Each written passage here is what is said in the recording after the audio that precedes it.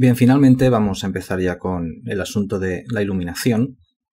Y antes de empezar, pues me gustaría enseñaros un poquito el modelo final, porque desde la última lección, bueno, pues he hecho algún tipo de, de cambio, he insertado algún nuevo modelo.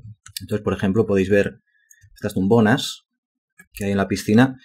Bueno, las he cambiado un poquito de sitio y de posición. Más cosas que he hecho es añadir estas escaleras para el acceso a, la piscina. Todos estos son modelos que me he ido descargando, o bien de eh, Archive 3D o, bien del panel de presets eh, de modo. Aquí en la zona del bambú, por ejemplo, las he ido desorganizando un poquito. He ido escalando y rotando un poquito cada una para darle un aspecto irregular. Más cosas que he puesto, pues por ejemplo estos arbustos, que nos van a servir después en la imagen final para definir un poquito el límite, lo que sería el límite de la escena. Esto es también descargado de, de Archive 3D. He puesto también por aquí algunos. Estos elementos, por ejemplo, esta especie de, de asientos tan acolchados, estos los he sacado del panel de presets eh, de modo, aunque les he modificado la textura para ponerles esta textura de tela, que creo que les queda bastante mejor. Y luego, por último, si os fijáis aquí un poquito más en detalle, veis que le he puesto una serie de, luces acopladas. Estas también son objetos que he sacado del panel de presets. Eh, están tal cual, no he tocado siquiera materiales.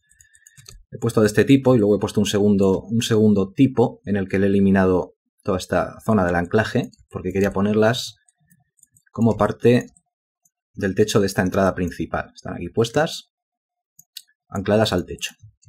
Bueno, pues estos son los elementos nuevos. Tampoco he querido estar enseñándoos cómo, cómo los he ido insertando y demás, porque bueno, lo que, lo que he dicho a todo lo largo del curso eh, realmente es una repetición de lo que hemos venido haciendo hasta ahora. Eh, insertar este tipo de, objetos, cambiarle los materiales, modificarlos y demás es algo pues que ya hemos visto eh, sobradamente. Con lo cual podemos empezar, como he dicho, a hacer iluminación. Entonces lo primero que me gustaría hacer sería irme al grupo de Shading y lo que voy a hacer es eliminar el entorno. Vamos a desplegar el elemento del entorno, que teníamos este HDRI de la cocina, si recordáis. Bueno, pues esta imagen de la cocina la voy a eliminar.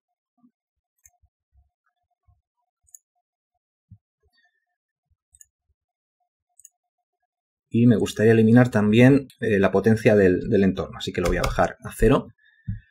Con lo cual ahora mismo, si hacemos un previo,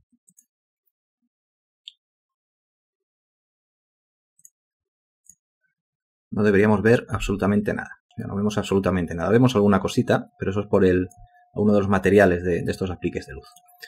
Bueno, vamos a comenzar eh, colocando luces. Hay un, hay un, orden en el que deberíamos colocar eh, las luces, ya que vamos a tener eh, dos tipos de luces en este entorno. Vamos a tener una gran luz global del ambiente y vamos a tener pequeños puntos de luz, que son estos apliques que he colocado. Bien, lo primero que vamos a hacer entonces es añadir un, nuevo material. Va a ser un material que se va a superponer a todos eh, los demás materiales. Así que añadimos capa, material. Este material, veis como aquí se está imponiendo a todos los materiales, salvo a la hierba que está por encima. Con lo cual este material hay que ponerlo por encima de la hierba. Y ahora sí, ya tenemos todo este material. Bueno, este lo queremos eh, por defecto tal cual está, solo que lo vamos a hacer totalmente difuso. Así que eh, activamos el índice de refracción, lo dejamos en 1 y el Fresnel en 0. Bien, vamos a comenzar yendo a la lista de ítems. Como os he dicho antes, que primero tenemos que eh, colocar unas luces y, después otras. Vamos a colocar primero, que es el orden que, deberíamos llevar, o que yo recomiendo llevar, es colocar primero las luces más débiles y luego ir moviéndose hacia, hacia las más potentes. Vamos a ir a la lista de ítems y añadimos, vamos a añadir un tipo de luz, tenéis aquí en luces, podríamos añadir cualquiera de estas, eh, pero en la que me quiero fijar es en las luces fotométricas. Vamos a añadir una luz de tipo fotométrico. Cuando añadimos una luz de este tipo nos va a pedir un archivo. Vamos a ver qué archivos tenemos dentro de las luces de tipo fotométrico. Bueno, yo tengo aquí una carpeta que es un pack de luces fotométricas que están incluidas también en, el curso, con las que yo puedo, fijándome en esta guía, estas son las luces fotométricas, si no las conocíais, son las que hacen este tipo de, efectos de luz. Vamos a seleccionar pues la que más nos guste. Por ejemplo, digamos que vamos a seleccionar pues la 12, por ejemplo. La 12 me gusta. vamos a borrar por aquí. Y como aquí nos está pidiendo el archivo de la luz fotométrica, pues nos vamos a mi carpeta de recursos y cargamos la número 12, que es la que hemos elegido. Aquí está la 12, abrimos y ya está insertada. La lista de ítems tenemos aquí al final que nos ha colocado una luz fotométrica. Vamos a ir a Display, dentro de las propiedades de esa luz, y en visible le vamos a decir sí.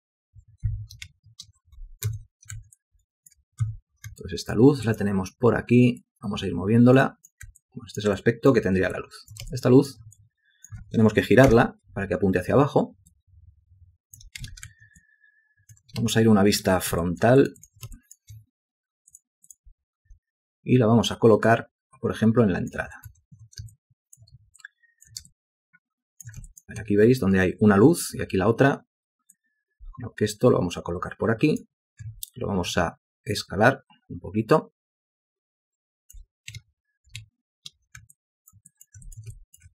Y ahora esto habría que moverlo, por ejemplo, desde una vista superior podemos moverlo. Esto estaría aquí, coincidiendo con el centro de ese aplique. Vale, vamos a una vista de cámara. Vamos a acercarnos por aquí y hacemos un previo.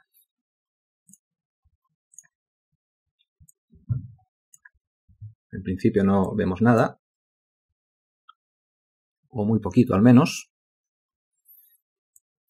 Vale, voy a cambiar a un tipo de render Monte Carlo. Creo que va a ir más rápido. esta sería nuestra primera luz.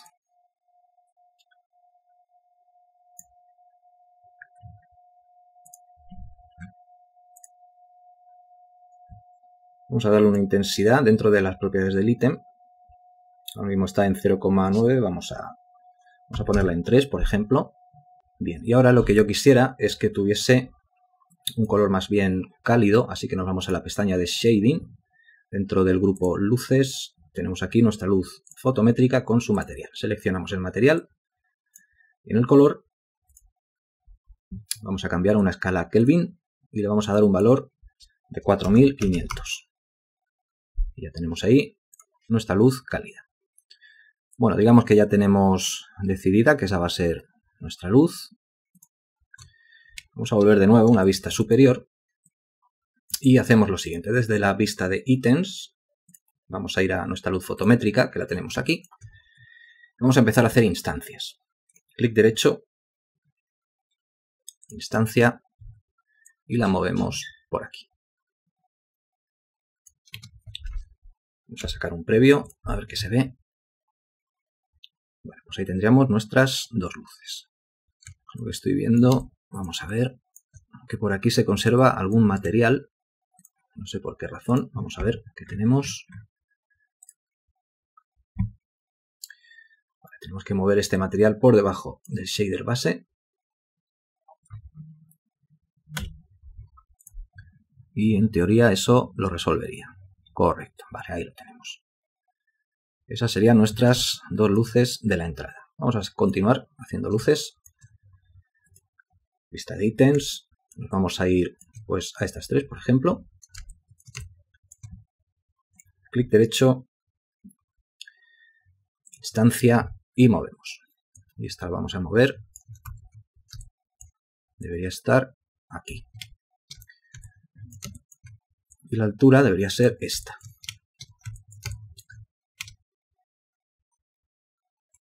Clic derecho, de nuevo instancia, colocamos la segunda. En lugar de estar duplicando luces, ya veis que estoy haciendo instancias. Primero me va a ser más, más cómodo para trabajar. y segundo va a ocupar menos memoria cuando rendericemos. Vamos a ver qué tenemos por aquí. Ya tenemos toda esa planta baja iluminada. Hacemos un previo. Ahí están nuestras luces. vamos a continuar con las luces de, de arriba. Tampoco os voy a aburrir viendo cómo las coloco. Vamos a adelantar un poquito y comenzamos ya con esas luces colocadas. Bueno, pues finalmente ya tenemos estas luces totalmente colocadas. Aquí veis cómo están todas incluidas. Os enseño un poquito el aspecto que tendrían. Pues esas luces serían las que tenemos. Ya que tenemos estas luces puestas, que serían eh, las más débiles, pues vamos a empezar a hacer el entorno. Para hacer el entorno, aunque tenemos varios métodos, yo os voy a enseñar el método que, yo suelo utilizar, porque es el que, bueno, que más me gusta y creo que eh, el que le da mejores resultados. Bueno, vamos a la lista de ítems. Estas fotos, por cierto, las voy a agrupar en una carpeta. Clic derecho, renombrar y las llamo luces fotométricas. Bien, vamos a hacer un nuevo ítem. Así que pulso N, aquí tenemos el nuevo ítem. Vamos a colocar por aquí y lo voy a renombrar, le voy a llamar, por ejemplo, entorno. Bueno, pues lo que vamos a hacer ahora es ir a básico. Vamos a seleccionar la primitiva de esfera. Y vamos a hacer una esfera de tipo, bueno, el tipo puede ser cualquiera, yo lo voy a hacer de tipo quad ball. Pulsamos control y arrastramos y hacemos nuestra esfera. Esto es lo que vamos a usar como entorno. Eh, lo que vamos a hacer ahora es partirla por la mitad. Vamos a seleccionar este borde, hacemos un loop slice, con lo cual ya podemos seleccionar toda esta parte de abajo y ya tenemos ahí nuestra cúpula. Vamos a moverla al centro. Esto debería venir aquí y desde una vista superior va a ser algo así. Vale, pues esta sería nuestra iluminación. Vamos a hacer doble clic en esta cúpula M para crear un material y lo llamamos cúpula. Ahora lo que necesitamos es añadir eh, una imagen. Tenemos aquí el material de la cúpula, vamos a añadir una imagen, igual que hemos hecho antes. Entonces tenemos por aquí algunas imágenes que yo he seleccionado. Voy a utilizar esta porque es de un cielo de atardecer, casi nocturno. Antes de aplicarla os quiero enseñar una vista previa para que veáis qué aspecto tienen este tipo de, imágenes. Vale, esta sería la, imagen. Esto que estáis viendo, que tiene así como una perspectiva tan, tan extraña, es una imagen esférica. Eh, las hay a montones si hacéis una búsqueda de imágenes en, Google. Vais a encontrar imágenes de tipo esférico como esta. Eh, ni siquiera es un, HDR, no es una imagen en 32 bits, es un simple eh, JPG, eh, y nos va a servir muy bien porque esta proyección, este tipo de proyección esférica, la vamos a poder aplicar como textura a nuestra cúpula. Entonces, seleccionamos la imagen, la aplicamos a la cúpula y ahora tenemos que ir al localizador de textura. Tenemos aquí el tipo de proyección, que por defecto ya sabéis que está en el VMAP. Lo cambiamos a esférico. Y el eje de proyección debe ser el eje Y, que es la altura. Bien, ahora lo que tenemos es que, claro, está, hay que, darle la vuelta. Vamos a pulsar F, le damos la vuelta. Vamos a ir colocando la cámara para que veáis el aspecto que tiene. Por ejemplo, algo, algo así. Vamos a hacer un previo. Bien, y ahora vamos a ir al material de la cúpula. Seleccionamos el material y vamos a hacer que la cúpula emita luz hacia dentro de la escena eh, basada en la imagen. Con lo cual, bueno, antes de seleccionar el material, seleccionamos la imagen y le cambiamos el modo de color difuso. Hacemos clic derecho. Se lo cambiamos a color eh, de luminosidad. Una vez hecho esto, tenemos que ir al material y darle un valor de luminosidad. Si vamos a las propiedades del material, vemos aquí en esta pestaña de transmitancia del material que tenemos una intensidad luminosa, que por defecto está en cero. Vamos a ponerla, por ejemplo, en 3, a ver qué hace. Ahora. Ahora está como la necesitamos. Ya estáis viendo este tipo de iluminación que tenemos. Tenemos esta gran cúpula que nos está proyectando una luz de atardecer sobre el modelo y por otro lado tenemos nuestras luces fotométricas que están pues un poco complementando esa variación que estamos eh, teniendo de luz fría a luz caliente. Lo que deberíamos hacer ahora es establecer un equilibrio entre las luces fotométricas y esta luz de, atardecer. En este caso, estas luces pues ya me parecen bien y la intensidad del entorno pues casi que también me parece bien. Vamos a probar a, subir la intensidad del entorno porque quizá estas zonas a lo mejor se ven un poquito demasiado oscuras. Vamos a subir de 3 a 5. Vale, pues ahí tenemos el, el entorno ya un poquito más, un poquito más potenciado. Seguimos teniendo estas luces. Esto es cuestión un poco de que, de que juguéis con los valores, tanto de cómo queréis hacerlo, de, la potencia de las luces o de la potencia del entorno. Tampoco es necesario que, manipuléis eh, las dos. Bueno, pues algo así, por ejemplo, aquí como digo está al gusto de cada uno, pero algo así, por ejemplo, eh, ya nos podría valer para establecer nuestra iluminación. Vamos a hacer un, un tiro de cámara, a ver qué tal se vería. Para esto no vamos a hacer un previo, sino que vamos a hacer un, render, un render final, y con estos materiales. Así que le damos a render. Bueno, pero tengo que hacerlo. Vale, aquí me he equivocado yo. Tengo que ir a render, iluminación global y colocar el irradiance caching. Ahora sí, renderizamos. Vale, pues ya tenemos aquí nuestro primer render eh, de prueba. Este sería el aspecto que, tendría con este material blanco difuso. Y antes de continuar, por cierto, eh, me gustaría enseñaros una cosa que no he tenido en cuenta en el anterior render. Este render, de hecho, es un, segundo render. El primero fue este. Eh, ves que tenía este, este entorno de, la cúpula, esta proyección. Se ve aquí un poquito, un poquito rara. Esto ha sido fallo mío. Como veis está resuelto en el segundo render y fue fallo mío porque cuando hemos configurado el material de, la cúpula, lo tenemos aquí, eh, de hecho en la proyección de su textura lo pusimos, si recordáis, como proyección esférica sobre el eje Y, pero hubo un, ajuste que no hice, que fue el del tamaño. Eh, para hacer esto, sencillamente le dais a tamaño automático, os va a ajustar automáticamente al tamaño de la cúpula y entonces ya tendréis vuestra proyección correcta.